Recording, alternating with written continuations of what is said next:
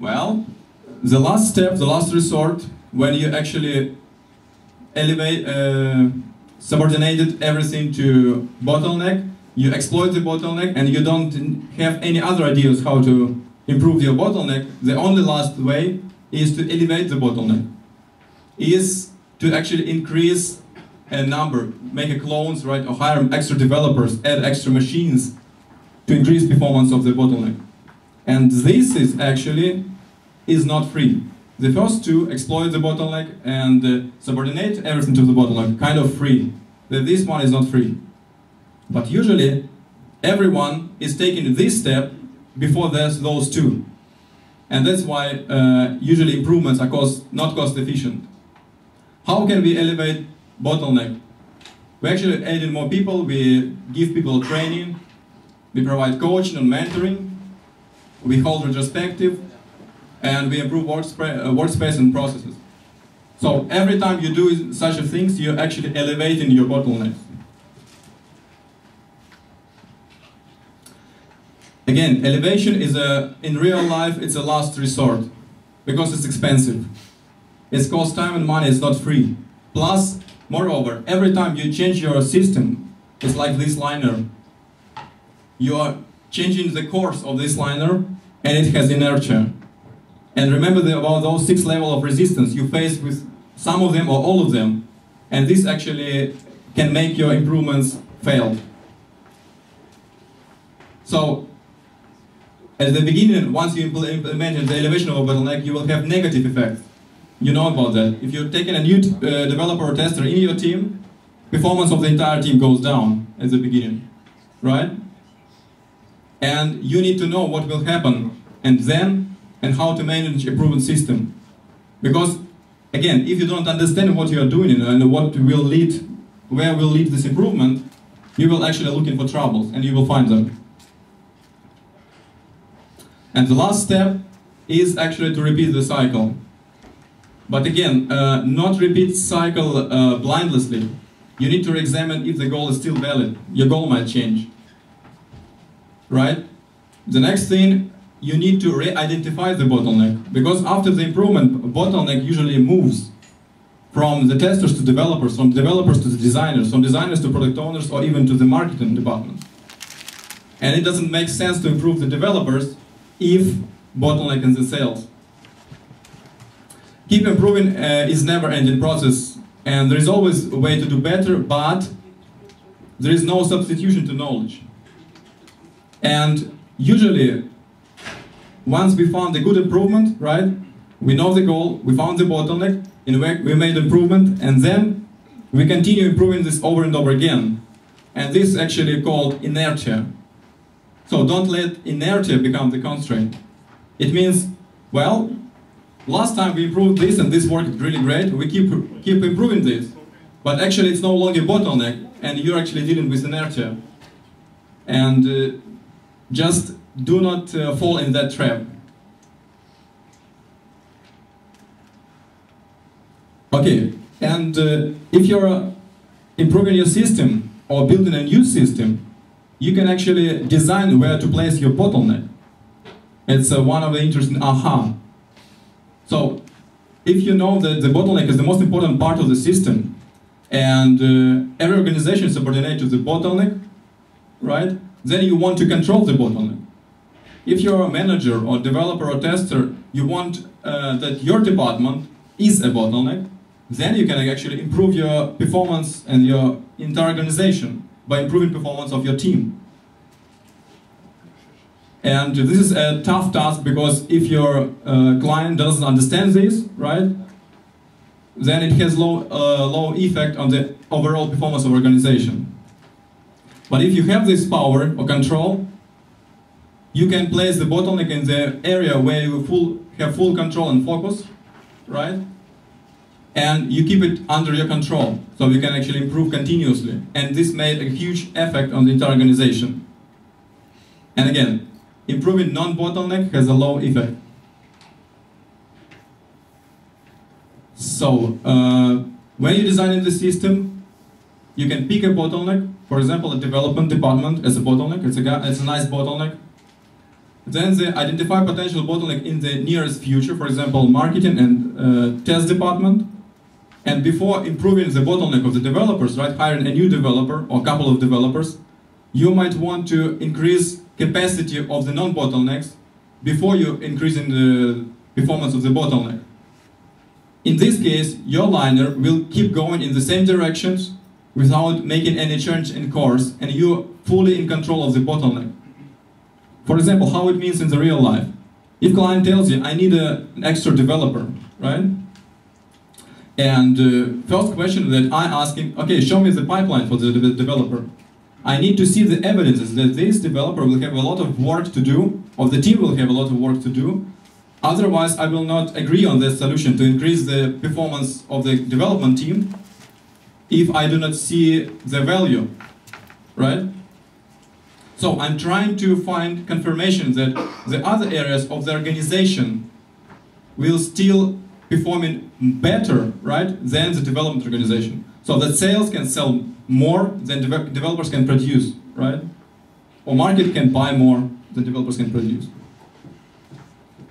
Okay, let's look to the practical application of the theory of constraint.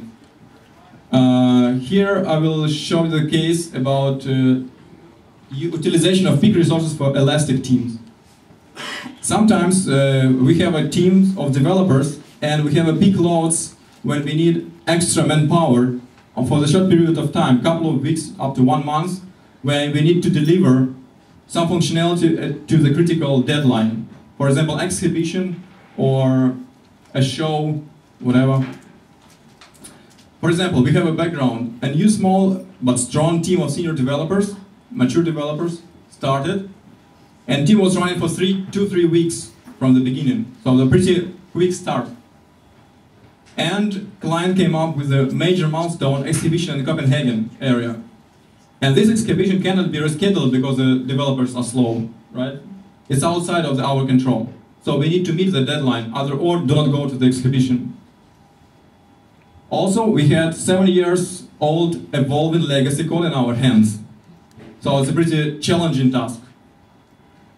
But the good positive thing that product owner trusted a lot to development teams and the guys were pretty mature and pretty senior. The challenge was that from very beginning we knew that existing resources not sufficient to meet the deadline. First, code base is unknown and legacy code, and no solid documentation or training materials. So it's kind of mission impossible. What we did, first, we verified the goal with the, with the customer, with the client. So we focused on the one goal, everything which is needed for exhibition release, Copenhagen exhibition release. What is else, just throw it away. So we knew our goal, it was pretty clear. The next step, we identified the bottleneck. In this case, it was pretty natural. The developers were bottleneck because they had a lot of stuff to do on their plate. And this was stuff which actually needed to be delivered by the Copenhagen exhibition release. Next step, what we did next, we exploit the bottleneck. We clarified priorities and aggressively cut the feature set for that exhibition. So it was a, actually long meetings not development, but long meetings with the client to make sure that we have a minimal list of requirements which we need to deliver. Not all nice to have, but must do have. Okay? Plus, the overall spirit was pretty high and developers themselves suggested to work overtime. At the same time, I agreed with the customer that uh, the rate will be attractive for the developers who work in overtime. So we exploit the bottleneck as much as we can. And uh, we also installed some kind of countdown on the on the board, like uh, five days left till the end, five, four, three days. So it gave a good feeling of urgency for the development team. And it was still not enough to meet the deadline. So uh, then we subordinated everything to the bottleneck. We removed all work which is not related to Copenhagen release from uh, developers' eyes completely. They do not see anything except Copenhagen release. All focuses, including customers and sales, on only what's in developer hands. Then we looked to the work we have in the bottleneck and tried to find the way how we can parallel, how we can develop in parallel the work which need to be done. Well, uh, we contacted the Ausha. Do you know Ausha? Who knows Ausha? Only a few people. Ausha is a head of peak resources department. She can help your teams actually to find the professional who can uh, reinforce your team in the short period of time with the freelancers. And we did this, we take, took this option for our case and we succeeded. How we did this? Uh, first, we found that we have a design, PSD design, which can be rendered to HTML by a freelancer. And we decided to hire a freelancer for a couple of weeks to make this happen. Right? We had a pretty clear expectation for the freelancer. We call this elastic part of the team. Uh, who was actually doing this work for us according to our guidelines, right?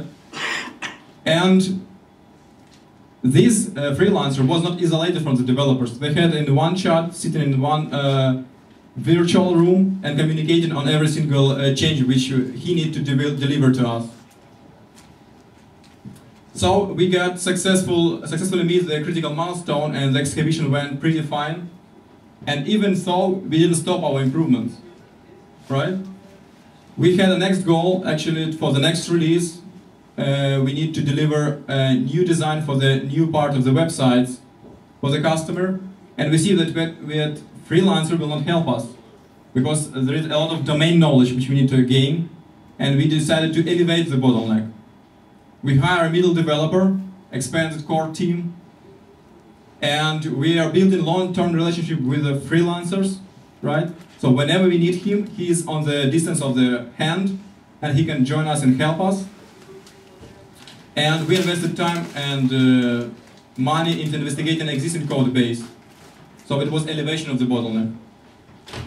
And next, uh, in the step number five, we actually verify our current state and uh, make a retrospectives to see how improvements help us to get better in our bottleneck, in our development. And all the time uh, we are taking a new part of work, we decide what we can do, what we can delegate to elastic part of the team or freelancer, or what we cannot delegate. And based on these uh, options, we actually distribute our work. And our next steps is actually uh, still keep the bottleneck in the development team. For example, a customer hired a new sales manager in the United Kingdom, right? And this was a, a sign for us that the bottleneck will still stay in the development team and we can, can actually expand if client wants. And we are currently uh, looking for a senior PHP developer in Dnepropetrovsk. Uh, we also refining, uh, going to refine criteria when we need to work, send work to the freelancer, because usually agile methods tells us it's better to keep uh, the knowledge inside of the team, but sometimes it's not really an option because we have a tough deadline we need to deliver, and we need to find the non-trivial way how to do it, and that's why we uh, invest in time and money into getting our freelancers up to speed. Yes, and we have long-term relationships. What does it mean? If a freelancer fails, we tell him that fails and let him to improve his performance. We are not changing the freelancer. We are staying with this uh, good uh, professional and let him to improve his performance. But if he fails continuously, we're actually changing him. So this is important. Not change freelancer just after the first fail. Give him a way to improve. What we learned the lessons. Well, we took responsibility for the freelancers in front of the customer. Customer don't have to do anything about the freelancers. It's our responsibility. We send in work to the freelancers, so to the elastic part of the team, if only it can be split. It doesn't require serious domain knowledge or legacy code base knowledge. And if uh, integration time of the results produced by freelancer is much less than development by the core developers. For example, if we have work for two hours, right, for the freelancer, but integration will take one hour, it's better to keep this work in, in development team, core development team. But if uh, uh, work for freelancers for 40 hours, but integration will take four hours, we will delegate this to freelancer. if there is a no steady pipeline for the freelancer to become a part of our team. Next lessons that, yeah, freelancer need to know that we do care about him and we need him. Not just kind of uh, temporary resource use it and throw it away. No, we're building long relationships with him. And we, will, we are going to increase this elastic part of the team for our needs. And yeah, trust is everything. We have a trust with the freelancer, we have a trust with our customers, and we are making amazing things which are never done before.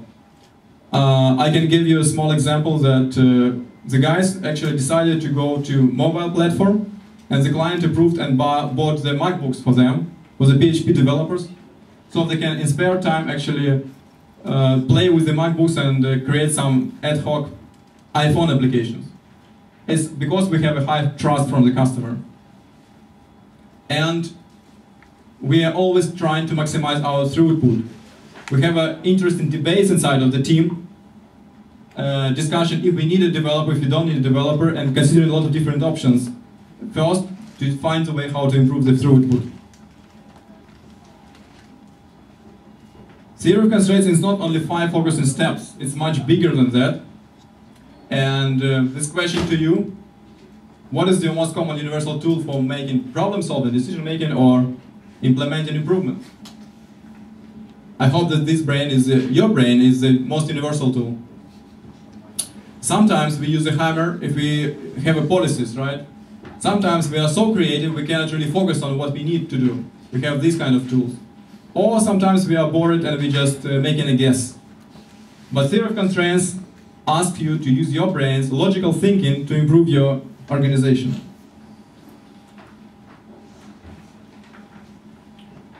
What's this all about? It, it has so-called thinking processes. It's a logical uh, graphs or charts which you can build in order to represent your current reality, called current reality tree, in order to get a better understanding of what to change. Then you can build the evaporating cloud or conflict resolution diagram. This is about solving conflicts. It's not only applicable to your work, it's applicable to your family, to your business, to any areas of your life. Where you have a conflict, this tool can help you to solve this conflict, even independently from all other tools. Then, once you found what you need to change, you go and build a future reality tree, which will show you uh, how your future will look like once you implemented the solution. Again, using logical thinking processes, not just uh, guessing. Once you know what to change, right, you want to make sure that your solution will actually work.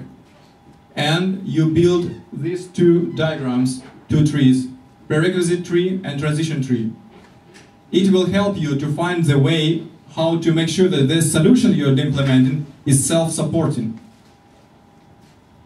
You know that in Russian there is a proverb «Хотели как лучше, получилось как всегда». So this is, these tools allows you to avoid this situation. So we would like to get it as much as, as possible, but, but usually we, we're failing.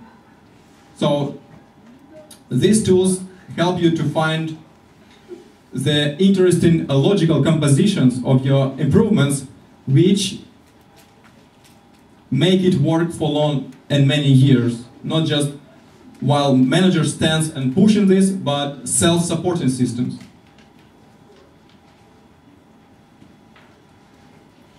So, uh, we will not talk about thinking process, it's uh, pretty complex and it's require, each diagram require own session, so, but in order to succeed with the theory of constraints, we need to practice. Yes, it is hard. Using own brain is always hard. You can involve, you need to involve domain experts if you want to improve the system. You need to understand the system and involve domain experts. It requires a lot of time and energy. Of course, and patience and respect to the people you're working with. Otherwise, you can actually get a lot of conflicts and everything will fall apart and it's time consuming.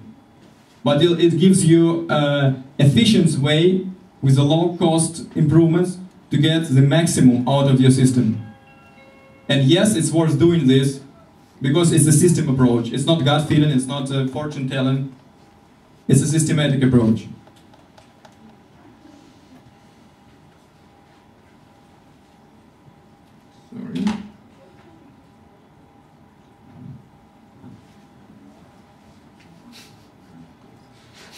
So probably you're tired.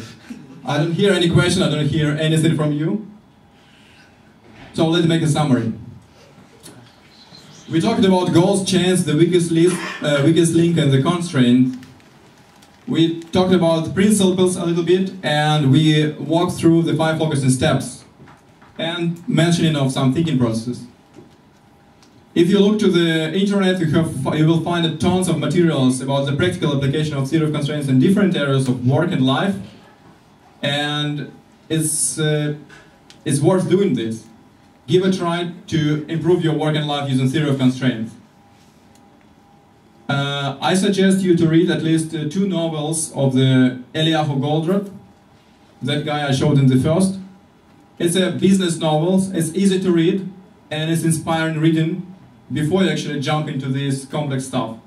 Okay? And try to apply these five focusing steps in your daily work. You will find that uh, it's easy to organize and manage your improvements in the more consistent way. If you have any questions, please ask.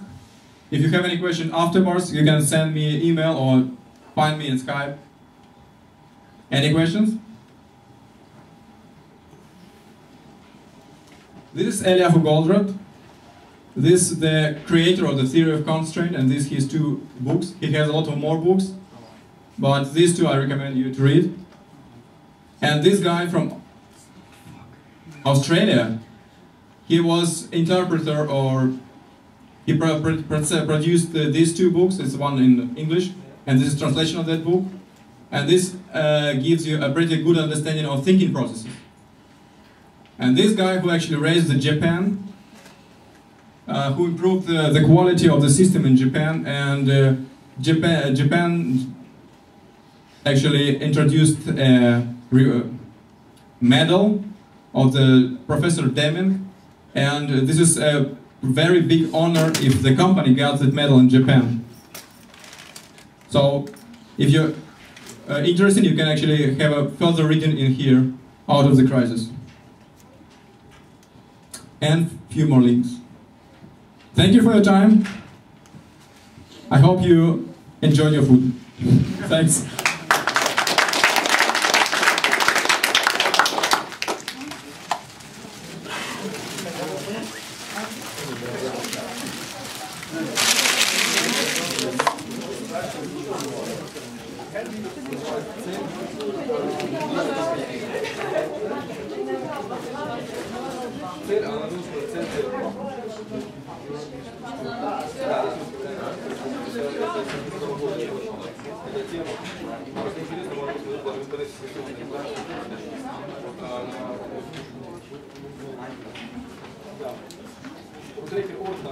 вот если Лига видео, видео самого вот этого.